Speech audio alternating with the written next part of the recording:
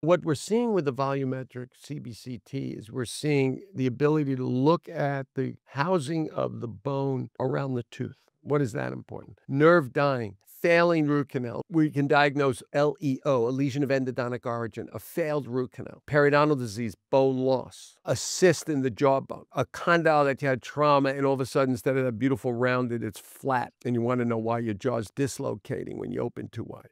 And we look at all these things, and then we get the airway, which is all about can you get into deep regenerative sleep, which is our future for health. We really can see so much information. And when you think about it, think about the crossover between the connection of dentistry and medicine. We don't talk to each other in general. It's totally disconnected. There's no universal health record, of course, in medicine, and there's absolutely no communication between dentistry and medicine. Well, guess who's beating the drum on this one? So I'm involved with a really cool group. Henry Schein, the company, is an amazing, innovative company and the largest dental company. And we're working on a project to help connect the dots with dentistry and medicine. We call it DMI, Dental Medical Integration. And what we're looking to do is to do certain things in the dental office that we can share that data with our medical colleagues that allows them to get upstream and early in diagnostic of chronic inflammatory diseases.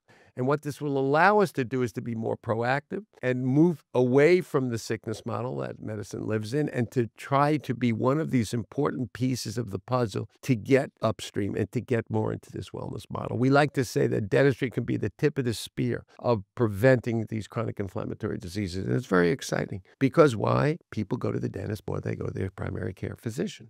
There are things that as dentistry gets elevated to, to do more than just fill a cavity, there's so much more that can get done because of this new technology and the new science and really all the great research that's come out in the last 20 years.